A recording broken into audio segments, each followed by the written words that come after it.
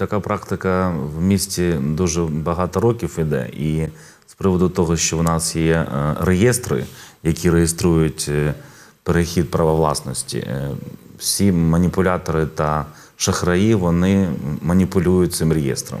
І тому власники, які мають інформацію в електронному реєстрі, вони більш не захищені, ніж між власниками, які дані в реєстр ще не надали. Ну, наприклад, якщо я володію нерухомістю і реєстрація в БТІ лежить в паперовому вигляді, то маніпулювати так, такою нерухомістю складніше шахраям, бо треба зробити е, певні дії по реєстрації. А це трудно зробити їм, і тому вони маніпулюють, коли мають доступ до реєстрів електронних, і різним чином різні нотаріуси або реєстратори роблять якісь дії, е, на їх погляд, е, законні для переходу права власності від одної особи до іншої особи.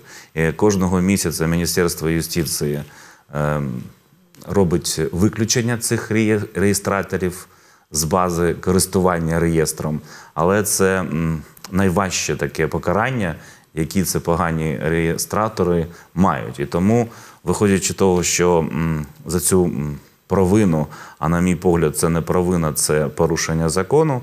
Якщо таке яке покарання, то ці дії вони як робили, так і роблять. А люди потім е, багато років е, мають справи в судах, користуються адвокатами. Це може бути 3 роки, 4 роки.